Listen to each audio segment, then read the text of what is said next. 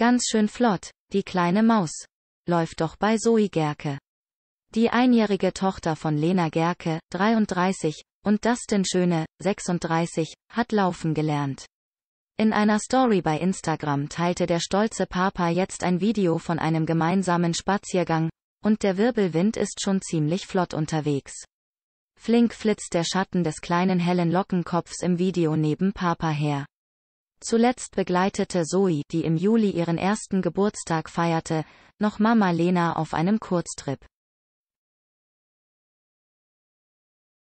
Ob mit dem Laufen auch ruhigere Nächte kommen? Die Reise mit Kleinkind verlief dabei allerdings nicht ganz planmäßig, was vor allem das 33-jährige Model einige Nerven gekostet hat. Auch der Schlafmangel setzt der GNTM-Siegerin zu. Denn so niedlich Töchterchen Zoe auch ist, so schlecht schläft die Kleine.